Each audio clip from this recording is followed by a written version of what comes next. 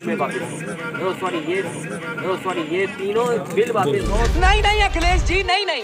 वैसे ही भाई साहब जब दस दस हज़ार कार्यकर्ताओं पर बकायदा मुकदमे लिख जाएँगे तो बिल की जगह मुकदमा निकल ही जाता है। वैसे भाई साहब माफ़ी मांगने की आवश्यकता नहीं है लेकिन आपको हम जरा बताते हैं कि बाराबंकी जनपद में कार्यक्रम में सम्मिलित होने के लिए उत्तर प्रदेश के पूर्व मुख्यमंत्री और सपा के भाई साहब राष्ट्रीय अध्यक्ष अखिलेश यादव पधारे थे।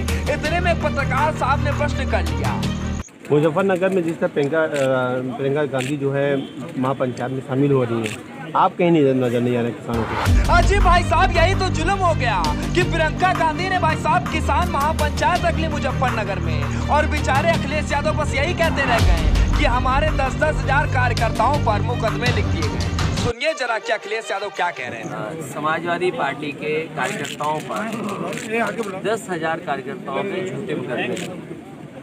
समाजवादी पार्टी पिछले एक डेढ़ महीने से जिस दिन से लोकसभा में राज्यसभा में कानून पास हुआ है और आपके लोगों को याद होगा कि समाजवादी पार्टी ने सबसे पहले कहा कि डेथ और उसी दिन से विरोध करना शुरू कर दिया। गाँव गाँव समाजवादी पार्टी किसान घेरा के माध्यम से पहुँची। समाजवादी पार्टी युवा घेरावा के माध्यम से पहुँची। और महिलाओं का भी घेरा कर उसके बाद किसान यात्रा निकाली। लगातार किसान यात्राएँ निकली हैं। और अभी 26 जनवरी को जहाँ दिल्ली में किसान अपनी बात को कहना चाहते थे और उन्होंने इलेक्टर परेड निकाली आप पूरे उत्तर प्रदेश में जानकारी कर लें कोई समाजवादी बचाव जिसने ट्रैक्टर की साथ यात्रा की।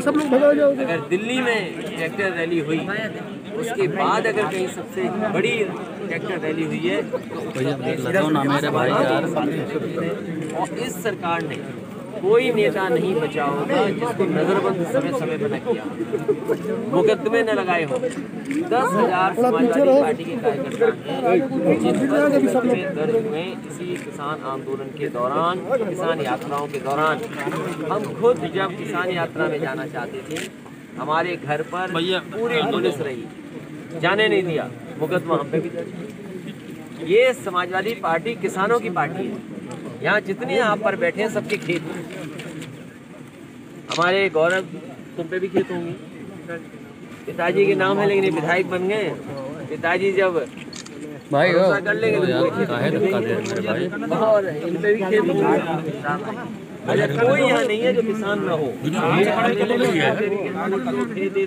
हम पे खेत है हम पे खेत है यहाँ कोई समाजवादी पार्टी का ऐसा नहीं है जो किसान नहीं है हम किसान इन मुद्दों के साथ हैं ये सवाल उठाना कहाँ क्या है ये तीनों मुकदमे वापस हों सॉरी ये तीनों बिल वापस हों समाजवादी पार्टी में जो मुकदमे लगे किसान आंदोलन में वो भी वापस हो बिल्कुल होने चाहिए। भाई साहब, किसान नेताओं के साथ इतना समाजवादी के नेता जो खड़े हैं, पर कुछ भी कहिए, भाई साहब, बकायदा लाल टोपी पहन कर आए थे। फ़िलहाल बाराबंकी जनपद समेत उत्तर प्रदेश के लिए एबीएन न्यूज़ 24 की ब्यूरो रिपोर्ट वीडियो को शेयर कीजिए। सब्सक्राइब करना मत भूलिएगा।